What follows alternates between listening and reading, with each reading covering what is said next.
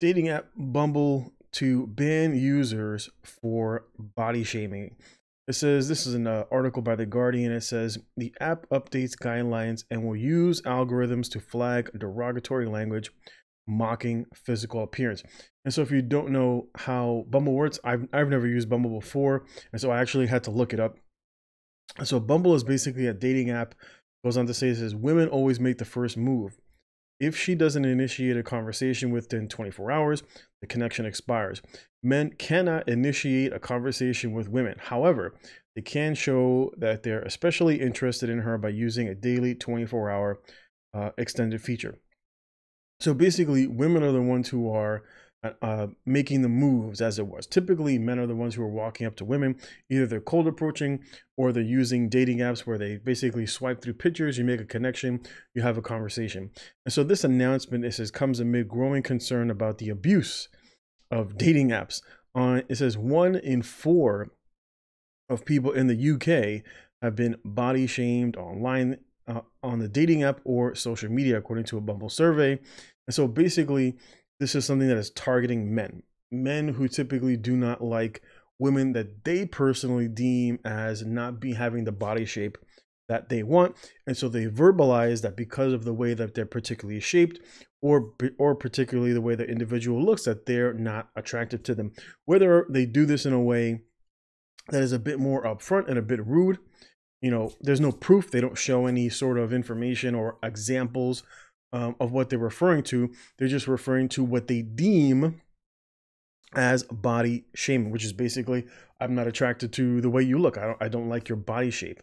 And so this is basically a one-sided sort of new guideline for men who particularly don't like women that they deem as perhaps being overweight, which is particularly what the article is referring to.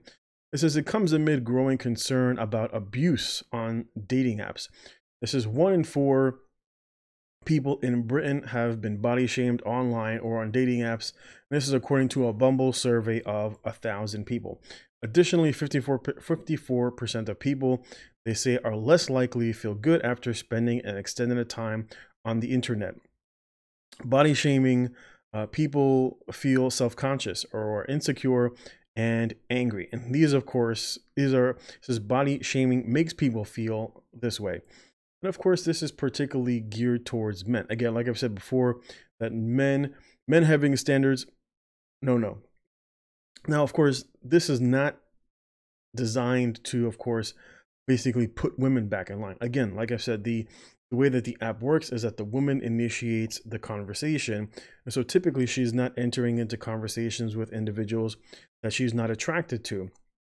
And so body shaming from the standpoint of the woman is less likely to take place, unless, of course, the man outright um, just rejects her on the initiation of conversation, which is probably what they're referring to.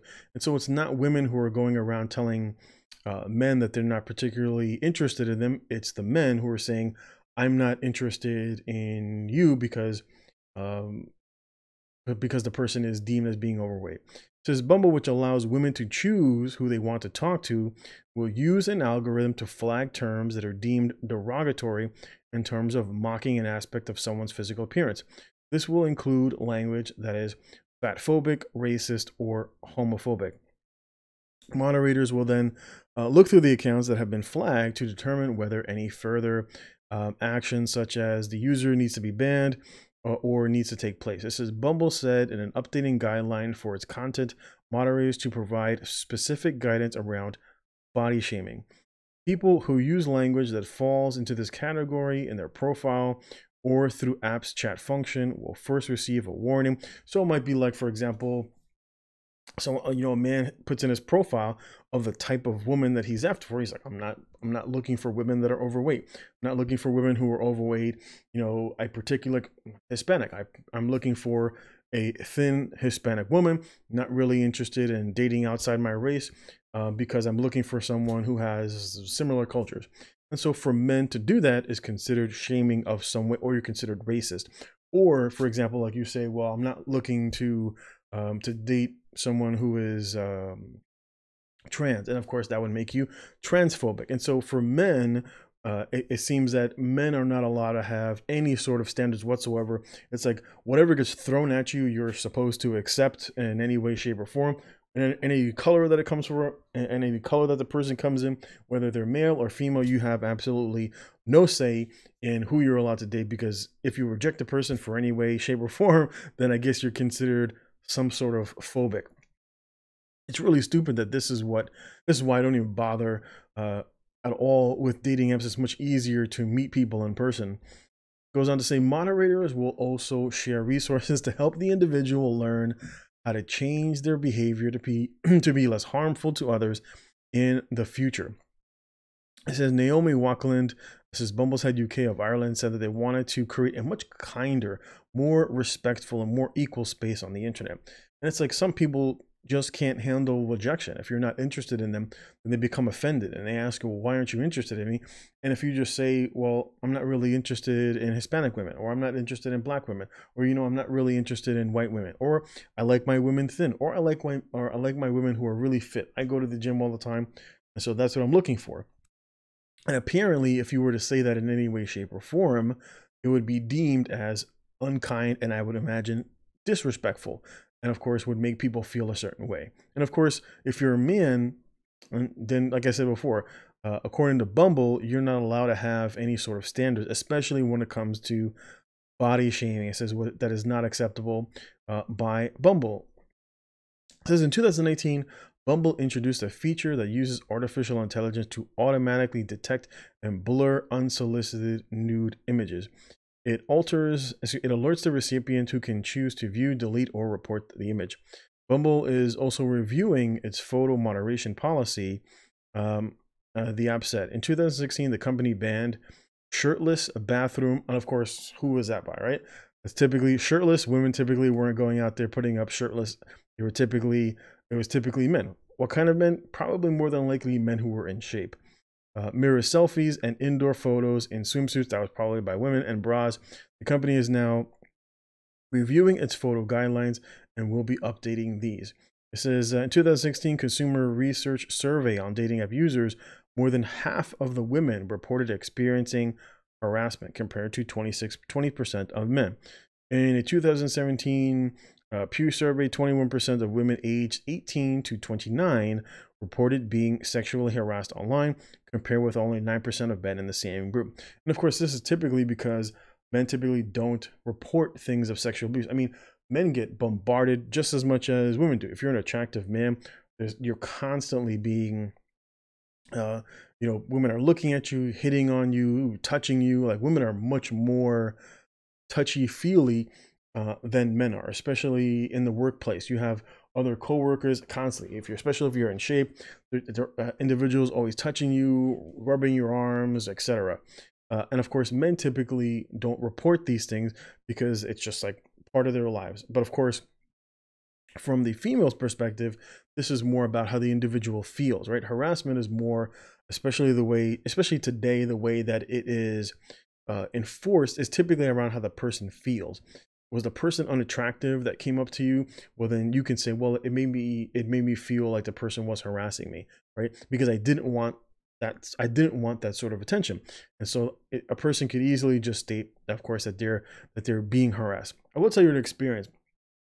I had a patient um i think it was about two weeks ago and the patient was slightly agitated but the guy spoke a different language and the PA comes around and they were like, because we had to move the patient to another room and they wanted to medicate the patient. And I was like, well, if you medicate if you medicate the patient too much, the patient is going to become uh, lethargic, right? You're going to basic you're basically going to uh, give the patient too much medication. And I was like, and the person doesn't need it. The person's not agitated, easily redirected. And so I was like, I don't think it's a really good idea. I just don't think that that person will be a good match for who they wanted to pair him with. And so the PA, of course, was kind of pushing it. And I was like, hey, you do whatever you want to do. If something happens, I'm just gonna write a keepsake, and a keepsake is just basically uh, like a uh, like letting you, the management know that an event happened that took place, and of course the patient was the one that experienced uh, you know the injury, being uh, so basically being sedated. And so the person said, and the person of course was joking, but it was but just the way the person said it, I was like, what? And so the person goes, well, maybe I should go to HR and say you were harassing me. And I was like, what? I was like, here I am having a conversation about the well being of my patient, not needing to be overly medicated and sedated just for the purpose of moving them. And this person, when I made the, the remark about if this went wrong, that you're the one that's going to be liable, was trying to basically turn around and say, well, if you go ahead, if you go ahead and do that, well, then I'm going to report you for sexual harassment. And I was like, wow.